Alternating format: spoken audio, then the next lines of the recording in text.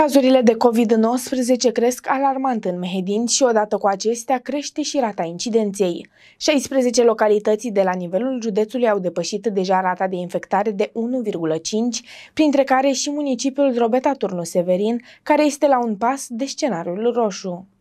Rata de infectare în Drobeta Turnu Severin a ajuns la 2,79 la mie de locuitori. Acest lucru este îngrijorător, ținând cont de faptul că municipiul riscă să intre în scenariul roșu. Totodată, în ultimele 24 de ore au fost depistate alte 49 de cazuri de infectare cu COVID-19 la nivelul județului.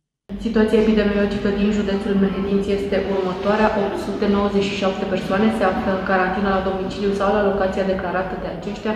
147 persoane sunt internate în spitalele suport COVID din județ. 410 persoane sunt izolate la domiciliu asimptomatice. În ultimele 24 de ore, în județul Mehedinți au fost confirmate COVID-19 49 de persoane și au fost înregistrate două decese.